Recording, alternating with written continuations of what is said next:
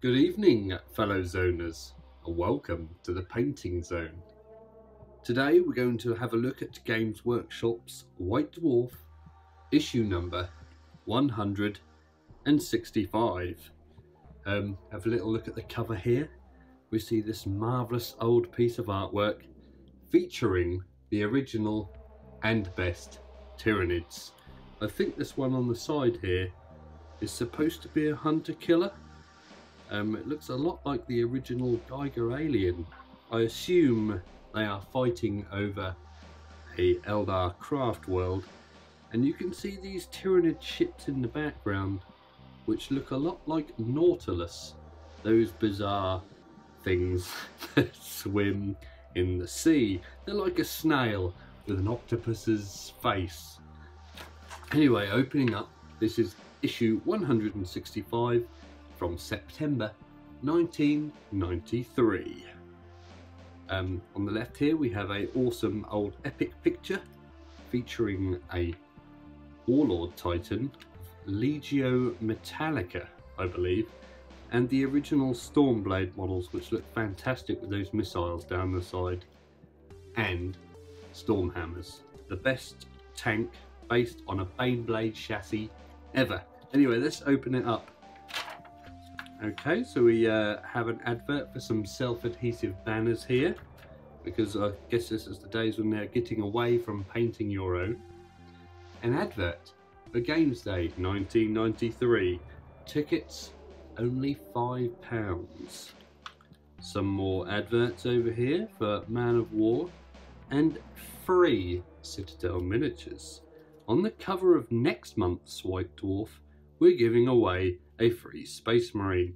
I don't know if any of you out there still have your free Space Marine, but I believe these are the Marines that came in the original second edition box set.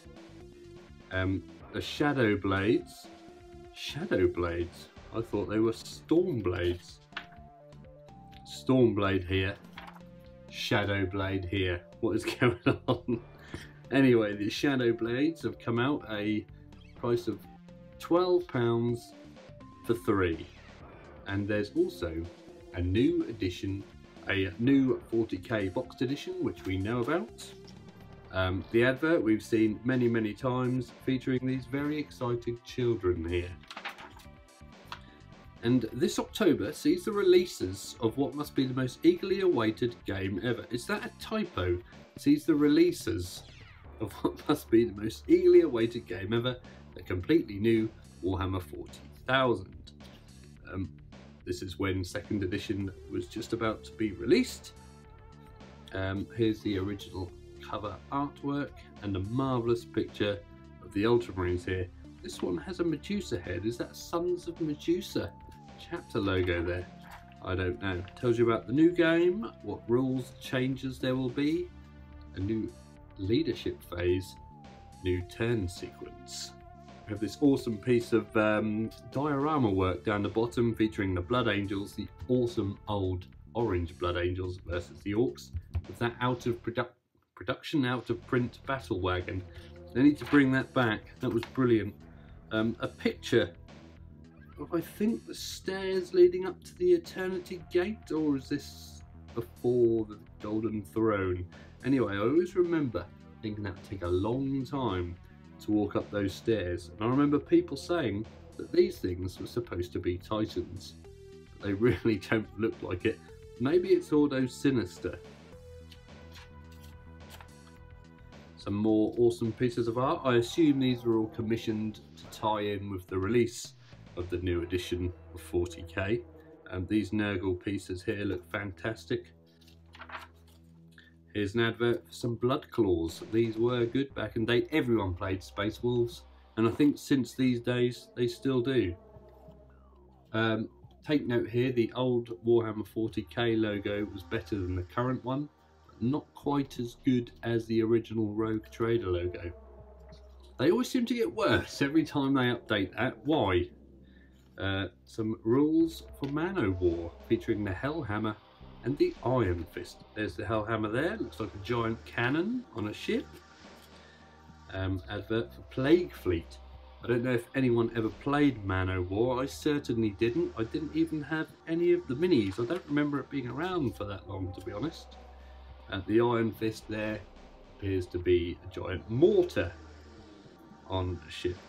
Plague Fleet was an expansion for Man-O-War, featuring more cardboard than you could ever imagine by the look of things, with no minis some fluff here. Maybe one day we'll have a read through that and your templates or whatever you would call these, your play cards for your Hellhammer and Iron Fist. New stores opening up, opening up Kingston upon Thames, Bournemouth and Aberdeen. Are they still there? You tell me. Ah, one of my favourite old miniatures, the Skaven Screaming Bell. Um, something you may have if you had a bad infection. Um, however, this was a brilliant mini back in the day.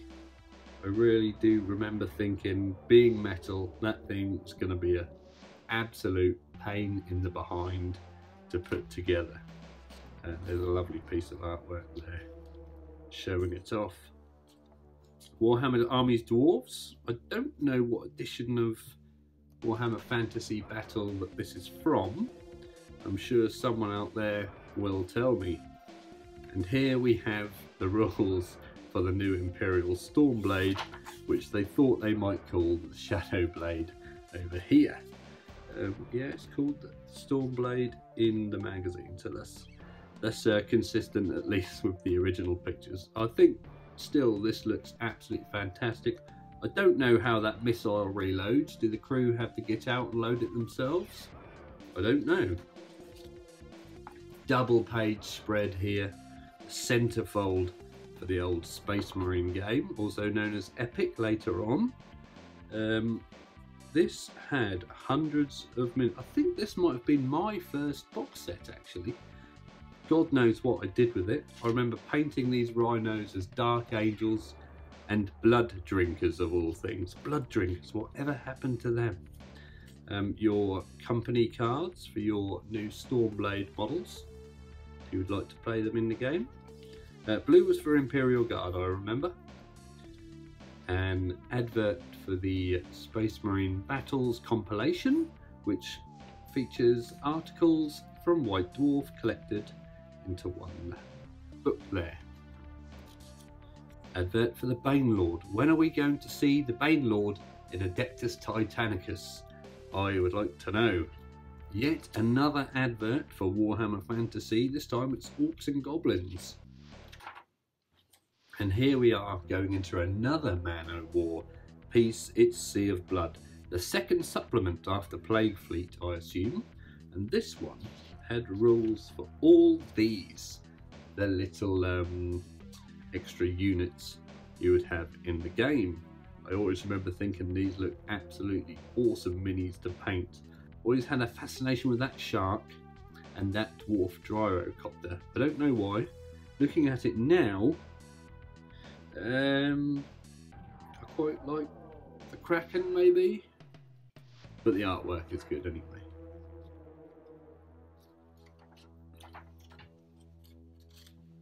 And a double page spread again, not the centerfold this time. I never played this game, I don't know if I mentioned that earlier, I think I did. But if anyone did, please let me know how good it was. Um, maybe one day we'll see a re-release of this. We had Dreadfleet, but um, that was just a one-off game. A uh, load of vouchers for the Bolton grand opening, whatever happened to these vouchers? They were brilliant things to get in your uh, magazines. Always very handy. I remember spending a few of those in the local Norwich store back in the day. We're not on the map though. Don't know why. Uh, another grand opening for Maidenhead. And then we're into Grom the Paunch of Misty Mountain, a mighty hero for goblins and dwarfs. And he is a rotund Goblin. Still, we see Squigs make an appearance from back in the day. Squigs always were amazing. This piece of artwork is literally a ball with claws. Fantastic.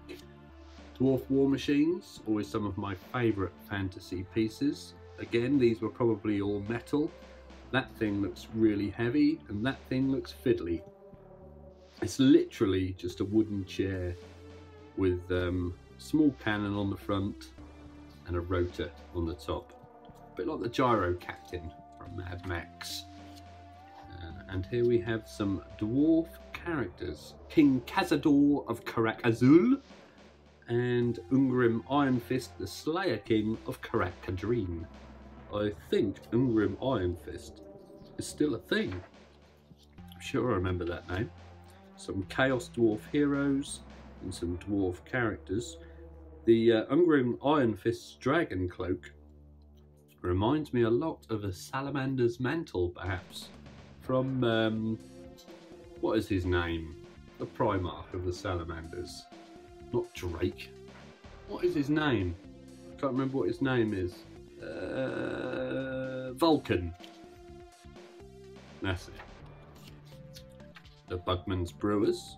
Joseph Bugman. I think you can still get a one-off model, a special limited edition piece from Warhammer World Bugman's Bar. Get your own Bugmans nowadays. I never did pop in and get one of those. The Dragon Princes of Caledor. Fantastic models. Always remind me of Deathwing Terminators. I think it's the colours there. The Chaos Dwarf Earthshaker. It's absolutely fantastic. I'm going to assume that's metal again. Look at those guys carrying that shell on a stretcher. Um, and here is an excerpt from the Space Marine novel by Ian Watson. One of the first um, books that came out from what I remember based on Space Marines. I think if you read this nowadays it may be quite weird. But the artwork for this is fantastic. A lot of these I think were used in advanced, advanced, advanced Space Crusade and uh, Tyranid Attack. Yet more Space Wolves, this time it's the Wolfguard Terminators. And here we are into the catalogue section Always nice to see how much things cost. Uh, Warhammer 40,000 doesn't say how much the box set is. On the other side? No. Okay, so they must have just discontinued Rogue Trader. Now you can't buy second edition. But Space Marine, however, the epic set was £30. And here are the metal pieces of the box set box set of the various box sets we've seen. These were fantastic. Marauder miniatures here, just before they got consolidated into Citadel uh, themselves. All the various squigs from back in the day. This one always amused me. Various Imperial Guard tanks from Epic. Again, the best one, Stormhammer. And the Death Strike this Death Strike here looked fantastic. Always reminded me of the V1 Doodlebugs from the Second World War. And uh, I did not know that these Man-O-War minis were metal. It's very interesting. I always thought they'd be plastic, but metal does make sense given the time period. An Imperial Great Ship and some more Man-O-War ships, along with the Black Ark of Naggaroth um, there's a paint named after that, Naggaroth Night. The dwarf ships, the best ships, and that's not a dwarf warship, is it? It's a dark elf death fortress. They ride on the back of dragons.